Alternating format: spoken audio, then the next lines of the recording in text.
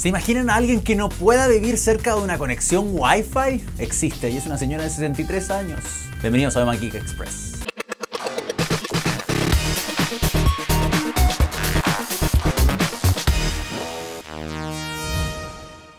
Mary Coles es una ciudadana británica de 63 años a quien las redes Wi-Fi le han hecho la vida imposible. ¿Por qué? Debido a que sufre hipersensibilidad electromagnética. Con dicha enfermedad no puede estar en lugares donde existan fuertes radiaciones de una red inalámbrica para no sentir los insoportables dolores de cabeza. Así lo informó The Daily Mail, medio que pudo reportar su caso. Al menos 3 millones de personas en todo el mundo sufren las consecuencias de esta enfermedad que puede producir cáncer.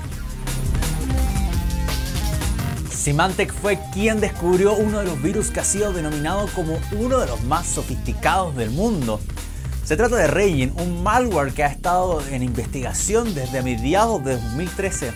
Este solo afectaría a máquinas con Windows y sus objetivos son diversos alrededor del mundo, aunque las principales computadoras infectadas están en Rusia, Arabia Saudita, México e Irlanda.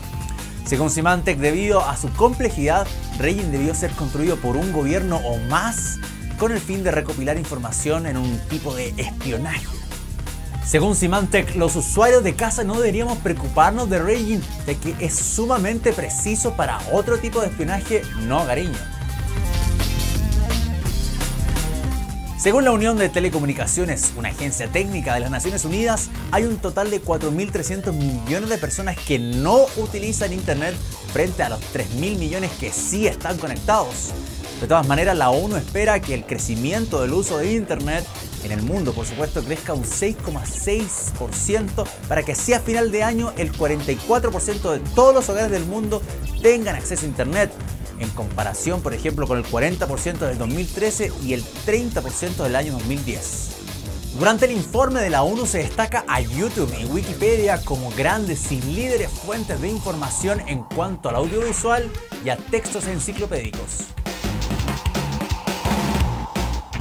Recuerden suscribirse a nuestro canal de YouTube y visitar Oh My Geek para más información de tecnología. Nos vemos el miércoles.